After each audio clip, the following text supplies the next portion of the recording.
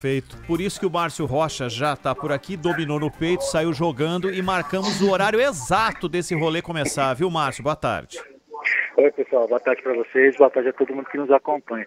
Pois é, como a Alana é, já falou aí agora para a gente, começou neste momento, assim, na verdade, para ser mais preciso, tem cerca de, sei lá, três minutos que começou a comissão mista de orçamento aqui no Congresso Nacional, que vai analisar justamente a, o relatório né, final do deputado Luiz Carlos Mota, que trata do orçamento da União.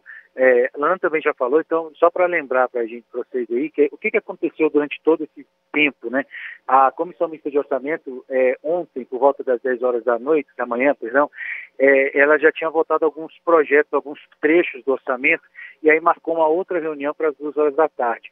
Depois essa reunião foi adiada, depois marcou essa, uma, essa, a, essa reunião foi adiada para as quatro horas da tarde, depois adiou essa reunião das quatro para as nove e meia da manhã de hoje, depois adiou essa reunião de nove e meia para meio-dia e meia e depois adiou mais uma vez para a reunião que estava marcada para meio-dia e meia para as três horas da tarde. E aí todo mundo foi, né? Já falaram assim, ah, agora vai, né? Então foi todo mundo para para a CMO, né, para a sala da CMO para acompanhar a reunião e ficou esperando, ficou esperando.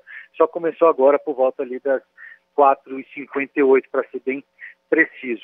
E aí, a gente está na expectativa justamente para que esse texto seja votado ainda hoje, porque a gente participou hoje de um café da manhã com a liderança do governo e lá nesse evento, é, todo mundo que é da liderança do governo estava cravando que ia votar o orçamento hoje na CMO e também no plenário para liberar o, o plenário do, do, da Câmara, né, que é um plenário maior que cabe todo mundo, tanto senador quanto deputado. A sessão do Congresso é uma sessão conjunta, né, sempre bom lembrar. E aí, para liberar o plenário do, da Câmara para ter uma votação importante para o governo hoje também, que era a votação das apostas esportivas na internet e também a do crédito de carbono. Só que foi adiando, foi adiando, foi adiando. Então, essa reunião, que essa sessão que deveria votar esses projetos deve ser feita só amanhã.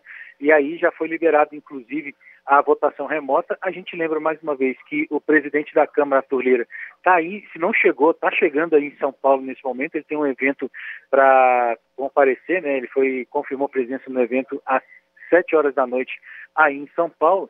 E aí, se ele não participa dessa, dessa sessão, ele deve participar é, amanhã, né, quando ele voltar para Brasília, e liberou a votação remota, né, a votação no sistema, no aplicativo da Câmara, né, que foi inclusive criado por causa da, é, da pandemia da Covid-19 para permitir que os parlamentares pudessem fazer as votações de casa, de forma remota. Então, agora, nesse momento, eu estou vendo aqui o deputado Elton Prado, que está é, fazendo as colocações dele nesse momento, né, ele que é de Minas Gerais.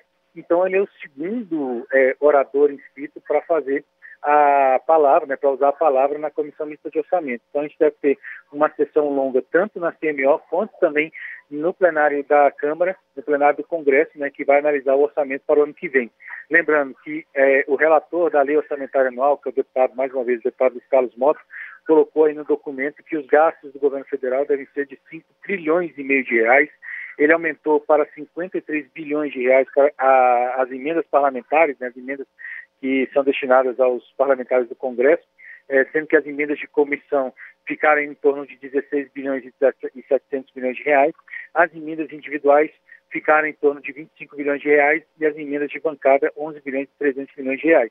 Por que, que esse dado é importante? Porque é, para aumentar as emendas, né, a quantidade de emendas, o relator precisou tirar de algum lugar. E esse lugar que ele escolheu para tirar foram já, exatamente os recursos do Programa de Aceleração do Crescimento, o novo PAC. E aí o governo chiou barbaridade e começou né, exatamente essa, é, essa questão das reuniões envolvendo aí essa parte do, do orçamento que envolve o novo PAC. E aí, pelo que a gente entendeu agora, né, depois de tantas reuniões, aparece que eles chegaram num acordo para, pelo menos, diminuir um pouco esse prejuízo do governo em relação às obras do PAC, que a gente lembra é a vitrine do governo e que o governo quer né, é, bombar, vamos dizer assim, é, é, aumentar os recursos do PAC justamente para um ano, um ano eleitoral. Né? A gente lembra que ano que vem vai ter eleição municipal nas cidades do Brasil. Lembrando também que esse relatório indicou 4 bilhões e 900 milhões de reais para o fundo eleitoral e o financiamento das eleições de 2024 e mas apesar disso, né, o governo conseguiu uma vitória muito importante ontem, que foi justamente a aprovação no Senado da medida provisória da subvenção do ICMS, que vai arrecadar aí na expectativa de 35 bilhões de reais já em 2024. E agora a gente segue acompanhando essa sessão. Demorou muito para começar, já era para estar resolvido tudo, né? o plenário da Câmara já está preparado desde as duas horas da tarde para essa sessão do Congresso mas a sessão da CMO só começou agora. Aí deve varar a madrugada aí a gente segue acompanhando. Ô, ô Lana, a, ontem uh, tinha uma questão moral que era a promulgação da reforma tributária, né, toda a entourage, tudo que aconteceu lá era importante para o governo, mas a votação das subvenções era mais do que importante porque o Fernando Haddad estava com um olho no discurso que ele fazia no plenário da Câmara e outro nessa votação que ia ser importantíssima para pra, as intenções do governo, né? É, exatamente, né? né? Precisam, precisam uh, alcançar, alcançar, a meta de, de déficit zero no ano, no ano que vem. Para isso, desculpa, gente, tá tocando aqui o telefone ao mesmo tempo em que a gente fala, não sei se isso vaza na, na nossa, na não, nossa não tá conversa. Não? não? Tá. Então, é, a meta de, de déficit zero para o ano que vem é um enorme desafio para o governo. E, e para conseguir aumentar a arrecadação, eles contam com medidas como essa, que era a MP da subvenção do ICMS, 35 bilhões de reais isso representa no orçamento. Então, é, a, negociação foi feita diretamente atrelada com o governo para a votação dessa MP no Senado Federal. Agora, na Câmara dos Deputados, o PL das Apostas tem o mesmo papel. É, os deputados vão, eu apurei que eles devem recompor as apostas online que estavam fora e é, foram retiradas no Senado e representavam 80% da arrecadação estimada.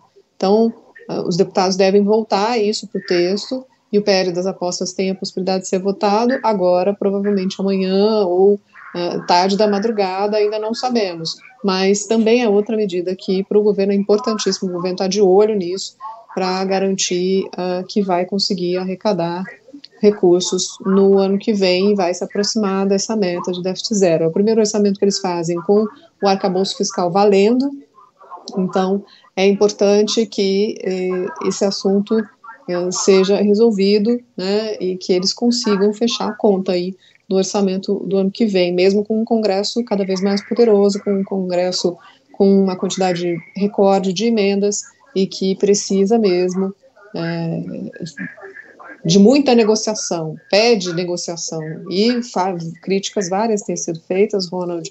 Eu tenho ouvido isso de parlamentares, inclusive da cúpula da Câmara, a articulação política do governo, né? Só para você ter uma ideia, uh, eu chequei nas notas taquigráficas, realmente, em quase duas horas de sessão de promulgação da reforma tributária, ontem ninguém falou o nome de Alexandre Padilha, que é o ministro da articulação política.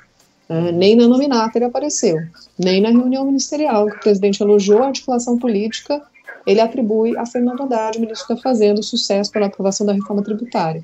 Então, Padilha ofuscado, uma reclamação muito forte com relação às falhas do governo na articulação política, e isso tem ganhado cada vez mais corpo, né? Então, Agora, o governo tem esse desafio aí pela frente, de enfrentar um Congresso super poderoso, com um calendário para distribuição de emendas. Ano que vem, ano eleitoral, eles têm que abrir o cofre no primeiro semestre, o que for distribuído bem, o que não for, amém, só depois da eleição.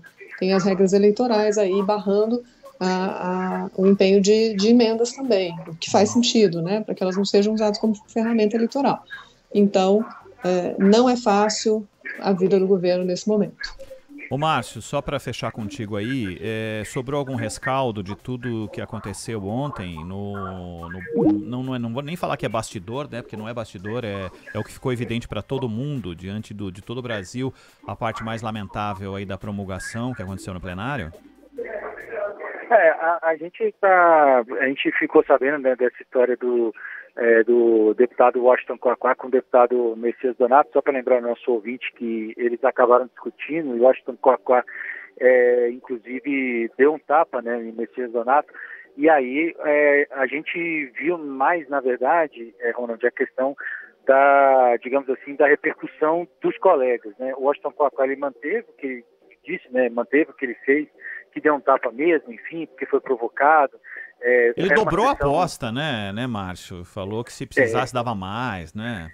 Exato. É porque foi o seguinte, é, a gente lembra que é, a, a, oposição, quando o presidente Lula chegou aqui para participar da promulgação da reforma tributária, o presidente Lula foi, é, foi vaiado né, pela, pelos parlamentares da oposição, é, muitos deles é, xingaram o presidente Lula, hostilizaram, enfim, que o Coacó foi lá para defender. Aí começou a discussão, aí acabou tendo esse, essa agressão. O que eu posso te dizer é que a gente conversou com alguns deputados aqui no Congresso Nacional, alguns falam abertamente, mas outros falam mais reservadamente, e eles falam assim que é, essa é uma questão mesmo para o Conselho de Ética, que muitos é, defendem Coaquá no quesito de que ele foi provocado e acabou reagindo, mas nenhum deles passa, a, passa pano para essa situação. Todos eles lamentam essa situação, todos eles reclamam que a, o parlamento atualmente ele está, tá, digamos assim, muito intolerante, é, as pessoas perdem a cabeça muito fácil aqui. A gente lembra que, por exemplo, não é a primeira vez que isso acontece, inclusive não é a primeira, é, isso acontece não somente com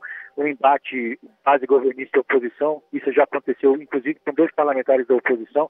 A gente lembra que é, esses dias para trás, uns dois, três dias para trás, o senador Hamilton Mourão e o deputado Gilvan da Federal, que são dois da oposição, né, eles discutiram no plenário, é, houve xingamentos, houve tipo a chamada turma do deixa disso, por causa da votação de Hamilton Mourão, na, a suposta votação de Hamilton Mourão na questão do Flávio Dino, né, da indicação do ministro da Justiça ao Supremo Tribunal Federal. Então, assim, os ânimos estão bem exaltados aqui, não somente entre parlamentares da base contra parlamentares da oposição, inclusive entre as bases, vamos dizer assim, é, parecidas, tem esse tipo de discussão, e a gente viu isso, foi o último, digamos assim, só o último episódio parecido que a gente viu é, aqui no Congresso Nacional. Isso tem acontecido com certa tem acontecido com certa frequência. A gente lamenta, mas a verdade é que está todo mundo é, muito preocupado com essas situações.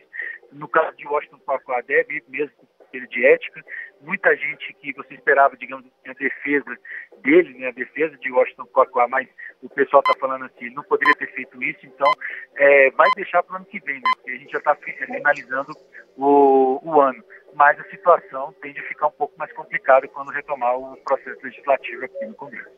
Perfeito. Valeu, Márcio. Bom trabalho para você. Até a próxima. Valeu, pessoal. Obrigada, Márcio. Valeu, boa.